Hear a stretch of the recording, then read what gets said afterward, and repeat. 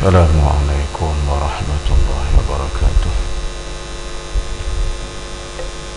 الحمد لله رب العالمين والصلاة والسلام على رسول الله وعلى آله وصحبه أجمعين. رب اشرح لي صدري ويسر لي أمري واحلل عقدة من لساني يفقه قولي. سبحانك لا علم لنا إلا ما علمتنا إنك أنت العليم الحكيم. ولا حول ولا قوة إلا بالله العلي العظيم 991 cerita-cerita hikayat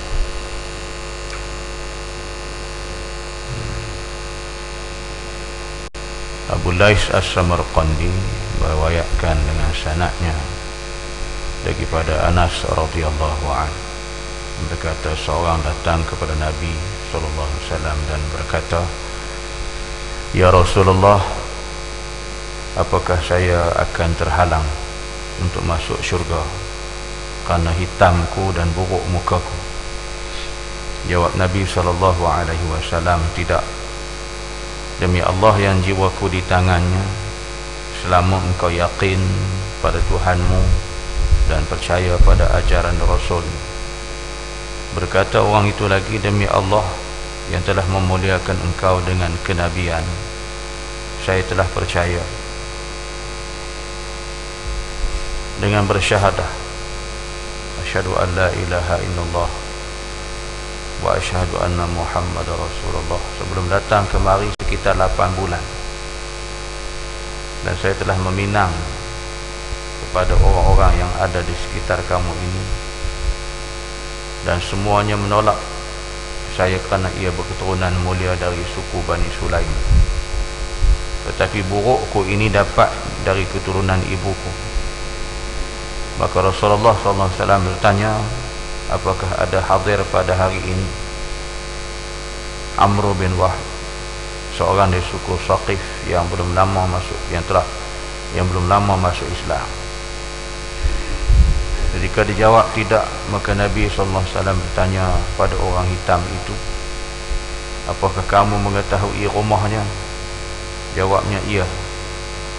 Lalu Nabi pergi. Bersabda pergilah.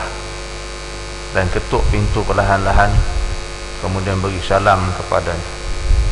Dan bila telah masuk katakan kepadanya Rasulullah sallallahu alaihi wasallam telah menghawinkan aku dengan putrimu orang itu pun mempunyai putri cantik yang bernama Atiqah. Juga cerdik maka pada mulanya ia disambut dengan baik.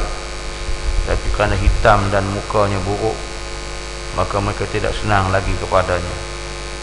Bahkan setelah ia menyampaikan apa yang disuruh oleh Rasulullah SAW aku telah dikahwinkan oleh Nabi SAW dengan putrimu. Segera mereka tolak menolak dengan cara yang kasar sehingga segera ia keluar dan pergi kembali kepada Rasulullah SAW tapi tiba-tiba puteri itu berkata kepada ayahnya yang telah menolak pinangan itu Wahai ayah Carilah selamat Carilah selamat Sebelum turun wahyu yang membuka Kedukmu Maka jika benar Rasulullah SAW menghawinkan aku dengannya Maka aku rela atas apa yang direlakan Allah dan Rasul Rasulullah untukku. Maka pergilah ayah itu kepada Rasulullah SAW dan ketika ia sampai di majlis Nabi sallallahu alaihi wasallam itu langsung ditegur kamu yang telah menolak pinangan Rasulullah sallallahu alaihi wasallam. Jawabnya benar. Tetapi saya minta ampun pada Allah. Sebab saya sangka ia dusta adapun bila ia benar-benar maka saya terima dan saya kahwinkan ia. Dan kami berlindung jangan sampai terkena murka Allah dan Rasulullah sallallahu wasallam. Maka dikawinkan dengan mahar 400 dirham. Maka Rasulullah SAW menyuruh calon suami itu iaitu orang yang hitam bernama Sa'ad al-Sulami pergilah kepada isterimu dan masuk kepadanya.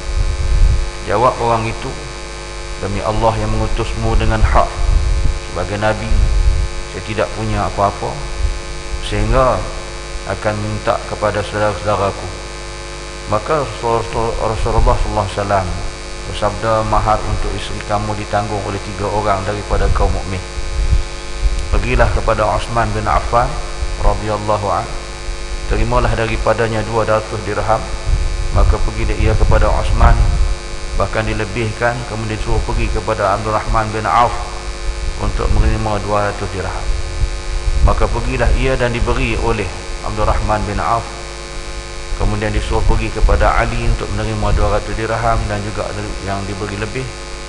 Kemudian dia pergi ke pasar untuk membeli oleh oleh-oleh untuk isterinya. Tiba-tiba terdengar suara seruan ya khalilullah uh, irkhabi wahai kuda Allah berkenderaanlah juga terdengar suara Rasulullah SAW keluarlah untuk berjihad.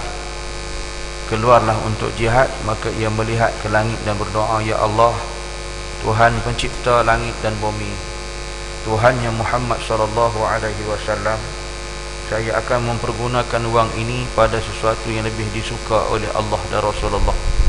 Dan kepentingan kaum mukminin. Lalu wang itu dibelikan kuda pedang tombak dan perisai lalu ia mempereratkan ikatan pelananya dan ikat pinggangnya dan memakai topi baju sehingga hampir tiba tidak terlekat terlihat kecuali bulat matanya. Lalu ia berdiri tegak di tengah-tengah barisan muhajirin sehingga mereka bertanya-tanya siapakah pengenderaan kuda yang belum kami kenal itu. Ali radhiyallahu an berkata biarkan kemungkinan ia dari Bahrain ataupun dari Syam dia datang perlu menyanyikan ajaran-ajaran agama. Kerana itu ia kini ingin mengorbankan diri untuk keselamatanmu. Kemudian orang hitam itu maju ke barisan musuh dengan menggunakan pedang dan tombaknya. Untuk memukul dan memenggal orang-orang kafir Sehingga tidak kuat kudanya dan ia terpaksa turun daripada kuda sambil menyingsing lengannya. Dan ketika Rasulullah SAW dapat melihat hitam lengan tangannya Langsung mengenalnya dipanggil Apakah kamu saat? Jawabnya ia benar. Nabi SAW bersabda untung nasibmu. Dan terus ia menikam dengan tombak dan membunuh dengan pedang sehingga jatuh gugur mati syahid. Maka keluar Rasulullah wasallam menuju kepadanya lalu diangkat kepalanya diletak ke bangkuan Nabi wasallam sambil diusap-usap tanah yang melekat di mukanya dan bersabda alangkah harum baumu alangkah kasihnya Allah Rasulullah kepadamu. Kemudian Nabi wasallam menangis lalu tertawa lalu malingkan mukanya dan bersabda kini ia telah sampai di haud di telaga demi Tuhan yang Ka'bah Abu Luba'wah bertanya ya Rasulullah haud apakah? Jawab Nabi telaga yang diberikan Allah kepada lebarnya antara Syana' Yaman hingga ke Busra. Tepinya berhias dengan permata dan mutiara. Airnya lebih putih dari susu dan rasanya lebih manis daripada madu siapa yang minum satu kali daripadanya tidak akan haus untuk selama-lama. Lalu ditanya ya Rasulullah mengapakah engkau menangis? Lalu tertawa kemudian berpaling muka daripadanya. Jawab Nabi sallallahu alaihi wasallam tangisku kerana rindu kepada Sa'ad. Adapun tertawaku kerana gembira melihat kemuliaan yang diberikan kepadanya oleh Allah. Adapun aku berpaling muka kerana melihat bakal isteri-isterinya dari bidadari berebut mendekatinya sehingga terbuka betis mereka. Maka segera aku berpaling muka kerana malu kemudian Nabi SAW menyuruh mengumpulkan pedang tombak dan kudanya untuk diserah kepada calon isterinya yang sudah diangkat nikah sambil diberitahukan bahawa Allah mengahwinkan saat pada bidadari yang lebih cantik daripada putrimu. Sidang jemaah muslimin muslimat yang dirahmati Allah sekalian bab ini menceritakan hikayat-hikayat hikayat cerita-cerita yang benar ni tuan-tuan. Ya. Apa yang diceritakan dalam ni merupakan cerita-cerita yang benar. Iaitu cerita yang boleh memberikan pengajaran memberikan pengetahuan memberikan juga kekuatan serta untuk menjadi contoh tauladan kepada kita seluruh umat Islam. Jadi daripada ni kalau kita tengok dari riwayat begitu panjang menceritakan seorang hamba Allah dari kalangan sahabat Nabi sallallahu alaihi wasallam yang mana dia ni orang yang tak elok pada rupa parasnya berkulit hitam berwajah yang buruk wajah tak elok.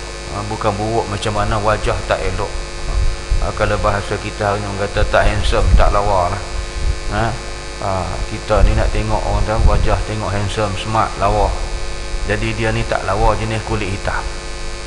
Ha, jadi dengan keadaan wajah dia yang macam tu dengan keadaan kulit hitam jadi dia ni uh, telah pun bagi meminang daripada salah seorang uh, wanita lalu pinangannya ditolak. Jadi kita nak ambil cerita uh, yang yang apa nama yang poin yang mudah yang ringkas jadi bila pergi pinang ditolak. Maka dia pun mengadulah perkara ni kepada Nabi sallallahu alaihi wasallam. Jadi dia mengadu kepada Nabi Nabi kata kamu pergi sekali lagi. Beritahu aku yang suruh meminang. Aku yang suruh minang Aku yang suruh mengahwinkan putri dia dengan kau. Jadi kamu pergi ketuk pintu pelan-pelan Bagi salam Bagi tahu aku yang suruh Jadi bila dia pergi kali yang kedua Bapa bagi pihak perempuan ni Masih lagi berdegil. Walaupun Hamba Allah ni bagi tahu Ini Rasulullah suruh. Jadi dia tak percaya Dia pergi jumpa Nabi. Tanya Nabi betul kan ni? Jadi bila Nabi kata ya Maka bila Nabi mengatakan gitu Pada anak dia tu Dah dah kata dah Bila bila dia mari kali yang kedua Anak dia kata Wahai ayah Sesungguhnya Apabila Rasulullah suruh ni Aku terima Aku rela. Aku reda Bapa dia tak percaya Apa kita tanya Nabi. Memang Nabi sebut bahawasanya aku yang suruh. Jadi itulah diletakkan dengan maharnya 400 dirham 400 jadi dia kata ya Rasulullah aku mana ada duit? Tak tak ada kemampuan. Jadi Nabi kata tiga orang yang akan tanggung. Tiga orang mukmin yang akan menanggung mahar yang diberikan apa nama untuk isteri kamu tu. Jadi dia pun pergi kepada Osman bin Affan Menantu Rasulullah. Diberinya 200 Kemudian disuruh pergi kepada Abdul Rahman bin Auf. Ini orang kaya Sahabat Nabi yang kaya. Menerima 200 Maka dia pergi kepada kepada nah, Abdul Rahman bin Auf kata kau pergi pula kepada Ali. Ali pun bagi 200 Jadi dah 6 Dah melebihi daripada mahar. Ha. jadi bila cantiknya dah dapat duit ni maka dia kumpul nak kahwin nak jadikan mahar apa semua nak dihantar kepada bakal isterinya maka ketika itulah dia mendengar di pasar ni ketika dia membeli duit tadi ni pergi beli barang-barang oleh-oleh ni beli barang nak dibagi kepada isteri ni sebagai hantaran pun nah Maka ketika itu dia terdengar suara mengatakan Wahai kuda Allah berkenderaanlah Dan terdengar juga seruan Rasulullah Keluarlah untuk berjihad. Keluarlah untuk jihad. Maka dia melihat ke langit dan berdoa kepada Allah. Ya Allah Tuhan yang pencipta langit dan bumi. Tuhannya Muhammad sallallahu alaihi wasallam. Saya akan gunakan duit ini pada satu yang lebih disukai oleh Allah dan Rasul. Dan kepentingan untuk kaum mukminin. Ha, ini nampak tuan-tuan. Nah, yang nak menjadikan pengajaran kepada kita tu. Kalau kita ni nah, dah terkumpul duit, dah apa dah, dah siap ni, kita akan terus melangsungkan ataupun pergi ke tempat yang kita hajati untuk mendapatkan isteri. Tapi ketika dia membeli barang-barang di pasar ni, terdengar macam tu maka dia terus beli kuda beli peralatan-peralatan perang dipakai lengkap dia sanggup meninggalkan perkara yang menjadi idaman pada hatinya nak mencari yang lebih utama. Yang telah dituntut oleh Allah Subhanahu wa taala. Jadi dia membeli segala peralatannya dipakai sehingga kan orang tak kenal siapa dia. Sehinggalah dia masuk dalam barisan pertempuran bertemu dengan musuh. Dia naik kenderaan kudanya kuda pun tak larat dia turun pula dengan menggunakan di jalan bawah jalan kaki di bawah maka dia menombak dan dibenggalnya pada musuh dipukulnya sebagainya sehinggalah dia menyingsing lengan baju bila lengan baju disingsing Allah nampak lengan hitam baru Nabi kenal rupa-rupanya saat sahabat yang tadi ni yang menikah sanggup tinggalkan semuanya nak mencari keredaan Allah Subhanahu wa taala. Tuan-tuan, itulah kisah sahabat yang begitu hebat yang boleh kita ambil contoh pengejaran keutamaan Allah dengan Rasul. Maka bila kita utamakan Allah dengan Rasul, ketika itu segala-galanya kita tinggal tu isteri yang paling dekat, kawan-kawan ke apa ke semua kita tinggal dah. Itu, itu yang lebih utama Allah. Seruan Allah, hak Allah, memelihara hak Allah, maka itu lebih keutamaan daripada kita memelihara dalam perkara-perkara yang lain. Ini sanggup kitakah kita menjadi contoh ataupun sanggup kita buat gitu? Tuan ha, inilah keimanan yang ada pada saat saat yang begitu hebat maka dia pun meninggalkan segala itu maka pergi perang. Bila pergi perang tuan-tuan lazimnya ramai yang gugur jarang yang kembali secara hidup gugurlah saat sebagai syahid. Maka Nabi pergi mangkat jenazah dia bagi Nabi pangku kepalanya bagi usap Nabi usapkan buang tanah-tanah yang melekat di mukanya. Maka Nabi kata apa? Alangkah harumnya bau kamu alangkah kasihnya Allah dan Rasul kepada kamu. Kemudian Nabi menangis lalu Nabi tertawa lalu Nabi memalingkan muka tiga saat dalam satu masa. Tiga tiga bentuk dalam satu masa. Maka Nabi berkata kini ia telah sampai di haud sebuah telaga. Maka sahabat-sahabat bertanya kepada Nabi apa yang hauf itu? Nabi kata telaga yang diberikan Allah kepadaku lebarnya antara Sana' Yaman hingga ke Busra. Tepinya berhias dengan permata dan mutiara. Airnya lebih putih daripada susu rasanya lebih manis daripada madu. Siapa minum daripada telaga itu satu kali hilang kehausan buat selama-lamanya. Maka kata Nabi wasallam sesungguhnya aku menangis sebab apa aku menangis? Sahabat tanya kenapa Nabi menangis? Kenapa Nabi tertawa? Kenapa Nabi paling muka? Maka Nabi kata aku menangis kerana rindu kepada saat saat dah tak ada dah seorang pejuang seorang hamba Allah yang begitu hebat memilih yang lebih utama yang lebih utama yang lebih hebat yang lebih afdal. Walaupun dia tak pernah beriseri tiba-tiba dalam saat dah saat dah menikah dah beriseri tiba-tiba panggilan jihad sampai. Jihad dulu yang dia ha, ini pengorbanan sahabat. Sebab tu Nabi menangis. Kenapa Nabi ketawa Nabi kata gembira melihat saat diberikan padanya oleh Allah iaitu mendapat minum daripada telaga yang aku katakan tadi hawa satu telaga yang begitu istimewa. Kenapa aku palingkan muka? Sebab aku ternampak bidadari berebut-rebut untuk mengambil saat menjadi suaminya.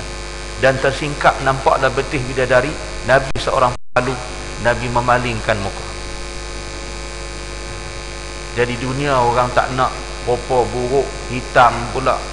Nah. Maka bidadari berebut-rebut nak mendapatkan saat seorang hamba Allah yang berjiwa suci bertemu dengan Allah dalam keadaan mati syahid. Ha, ni tuan-tuan tengok tuan-tuan ya kemuliaan Allah. Allah memuliakan manusia. Wa in apa nama inna akramakum indallahi atqakum. Sesungguhnya dimuliakan di kalangan hamba Allah itu adalah orang yang bertakwa kepada Allah bukan melihat kepada ketampanan kehansaman dia kalau pakai wajah kan wajah cantik dak Allah melihat kepada takwa ha, inilah hebatnya takwa saat sehingga Allah membelinya dibalaskan syurga. Maka sebab itu kata Nabi adapun apa yang berlaku tadi itu maka bidadari berebut-rebut maka mereka terbuka nampak betis aku berpaling muka kerana malu kemudian Nabi suruh kumpulkan semua barang-barang yang saat pakai tadi. Kuda, alat-alat senjata perang dia apa semua. Diserahkan kepada diberitahu diserah kepada isterinya. Dan diberitahu bahawa Allah mengahwinkan Sa'ad pada bidadari lebih cantik daripada putrimu. Bagi tahu dekat pak mentua dia wahai uh, apa tadi ni? Uh, hamba Allah ni bernama uh, Wahab bin Munabi Amru bin Wahab wahai Amru ni Sa'ad telah pun dinikahkan dikahwinkan dengan bidadari yang lebih cantik daripada puteri kamu. Ha, inilah tuan-tuan yang kita nak ambil pengajarannya. Bagaimana orang yang berjuang pada jalan Allah dengan hati yang ikhlas kepada Allah Subhanahu wa taala dan orang yang menyahut panggilan jihad maka Allah memberikan balasan istimewa yang tidak ada tolak bandingnya daripada atas dunia yang kita ada yang kita miliki. Mungkin dunia ni pun kita dah seronok dengan keadaan keindahan dan kecantikannya. Tapi saat melihat yang itu lebih utama maka dipilih yang utama. Itulah yang diperolehi. Jadi dia kaitannya dengan niat yang kita baca pada bab yang telah lalu. Ha, niat kerana Allah mempertahankan agama Allah kesucian Allah itu lebih utama. Itulah yang diterima oleh saat. Ha? Jadi mudah-mudahan jadi pengajaran kepada kita. Hmm, wallahu alam. Uh, sebelum itu saya nak mengucapkan uh, jazakumullahu khairan katsira kepada tuan-tuan. Uh, saya sampai balik petang uh, sampai balik semalam kita pusat apa apa madrasah tarbiyah yang saya buat tu uh, malam tadi dimaklum pada saya uh, kubah yang nak dipasang telah pun dibawa uh, dengan harapan mungkin sampai pada pagi ini dan akan dipasang kemudian akan dilengkapkan dalam tu. Jadi saya tanya tukang keseluruhannya uh, kos nak, nak apa nama dalam tu nak plaster nak apa gitu gini ni, ni Eh, dan kita dah jumpa dan saya balik baru ni panggil tukang pasang kapek. Dia mari sukat keseluruhannya kos untuk kapek RM58,000 dan kos uh, dalaman untuk aksesori apa semua lebih kurang RM30,000 uh, lebih yang selebih itu itulah. Dalam anggaran kata tukang RM100,000 lebih lagi uh, jadi mencukupi untuk inilah uh, jadi itu terpulang kepada pihak jemaah. Jika kubah dipasang maka jika nak pakai juga boleh pakai dah kata tukang. Kita sapu bersih boleh bentang tika boleh pakai lah untuk semayang Ramadan. Itu terpulang pada dia lah. Kalau nak pakai lebih lebih dia kata lebih lebih selesa uh, raya nanti. Uh, jadi itulah tuan-tuan perkembangan dan uh, saya mengucapkan bagi pihak Jabatan Kuasa di atas sumbangan-sumbangan tuan-tuan yang beri jazakumullah khairan katsira mudah-mudahan itu sebagai saham untuk tuan-tuan di akhirat besok insyaallah. Dan madrasah ini boleh terpusat tarbiyah ni boleh menampung muat 500 orang jemaah insyaallah. Hmm. jadi itulah uh, kita apa buat sebagai saham uh, untuk kita di akhirat besok insyaallah dan jika tuan-tuan yang masih lagi ataupun ada yang nak bagi lagi duit-duit zakat ke sumbangan-sumbangan. Uh, bagi pihak kami mengalu-alukan dan saya dah edarkan pamphlet itu hari dalam tu ada nama akaun bank Islam. Masukkan dalam uh, akaun bank Islam wallahu a'lam. Subhanakallahumma bihamdika asyhadu an la ilaha illa anta astaghfiruka wa atubu ilaik bismillahirrahmanirrahim. Wal 'asr إن الإنسان لفي خسر. إلى الذين آمنوا وعملوا الصالحات وتواصوا بالحق وتواصوا بالصبر. صدق الله العظيم.